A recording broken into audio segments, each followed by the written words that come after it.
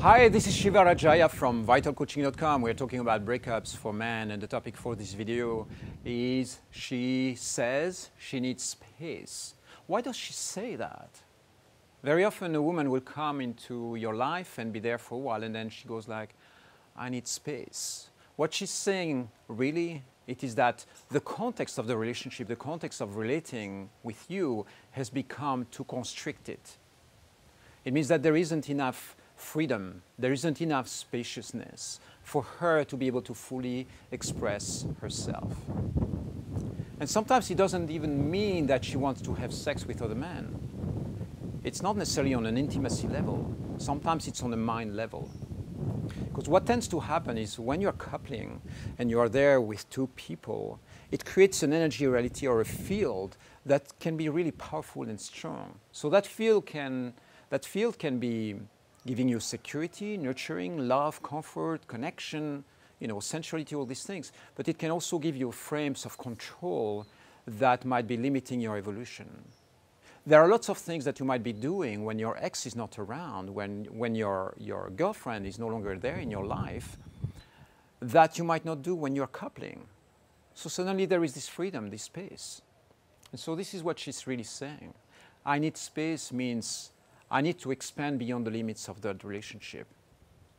So if you oppose that, you know, suppose that she says that to you and you go like, um, what do you mean you need space? And you resist that, then most of the time she's going to strengthen that message. She's going to be contracting like, I feel constricted, I need freedom, I need to breathe, I need spaciousness. And so the best way to go for you is to give that to her. If she says, I need space, you go like, Sure, take all the space you need. I don't feel threatened by that. And if that taking space means you want to break up, cool with that. I don't want you to stay in a relationship with me if you don't want to be in that relationship with me. You need space, go and take the space that you need. I'll do the same. And so if you're not resisting it, if you're not offering her resistance to that, to that urge, what will tend to happen is that it's going to relax her into that space. She will be, oh, wow, is cool. It's not going to be the controlling pattern, which, which is what she's precisely running away from. If you respond with control, you respond like, what are you talking about? We're a couple. You're not going anywhere. You're my girlfriend. What, what do you need space? What does that mean? You know, you will, you, if you are reactive to it, she's going to retreat.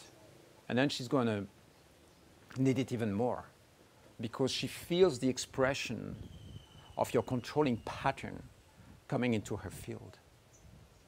And so if you remove the controlling pattern, you go like, sure, do what you want. You're free.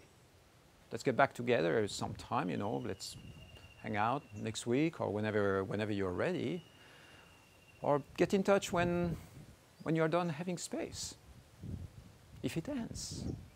You see, you give her just permission to, to go with whatever dream she might have, whatever desire she might have you remove the controlling pattern, and this allows the energetic space to relax. And the moment you do that, what is funny, what is interesting is that her urge to have space is being granted. And in the process of doing that, maybe she no longer has to run away from you. She's comfortable in staying in, in your presence because she sees that you're not there to limit her or control her life if she says she needs space, just be like, yeah, it's your life. Take all the space you need.